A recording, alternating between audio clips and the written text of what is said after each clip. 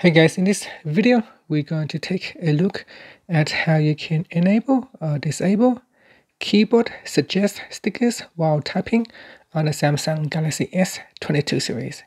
First tap on the home button to go back to the home screen. And on the home screen, swipe down at the top and tap on the settings icon. In settings, go down and tap on general management. In here, you want to tap on the Samsung keyboard settings and go down and tap on suggest stickers while typing. So tap on the toggle button to switch it on or off.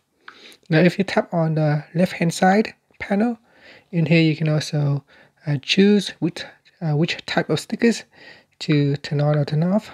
So in here you got emojis, uh, AR emoji. For Bitmojis, it is turned off. at the moment, you cannot turn it on. Uh, Talk, you can turn it on or off and pre preloaded and downloaded stickers. You can also turn it on and off as well. And here you got sticker suggestion method. You can show above keyboard or show in predictive text area.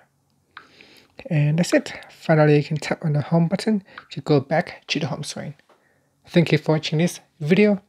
Please subscribe to my channel for more videos.